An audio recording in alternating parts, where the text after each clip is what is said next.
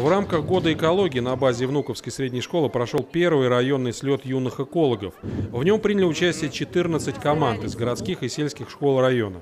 Организаторами слета выступили районное управление образования, Дмитровский филиал Мособллеса. Ребятам предстояло пройти 9 этапов. Это прохождение препятствий на время, определение маршрута с помощью специального прибора «Бусоля».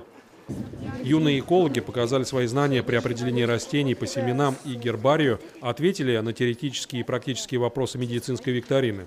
Весьма интересным оказался этап определения птиц по их звукам и пению – а еще ребята под чутким руководством сотрудников Мособллеса посадили саженцы дуба, липы и осины.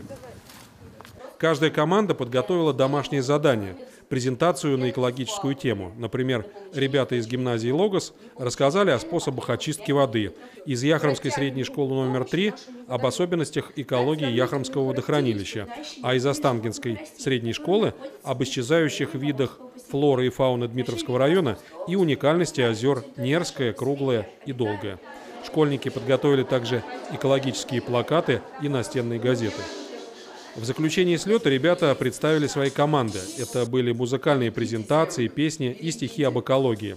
В них каждая команда постаралась подчеркнуть значимость экологии для будущего нашей планеты, поднять актуальные проблемы окружающей среды. После презентации команд жюри слета подвело итоги. Победители определялись на основе результатов, которые они получили при выполнении заданий на девяти этапах. Третье место заняла команда Внуковской средней школы, второе – Дмитровская школа номер 8, а победителем первого слета юных экологов стала Яхромская средняя школа номер 3. Поздравляем ребят с победой и желаем им высоких результатов в нелегкой работе по защите окружающей среды.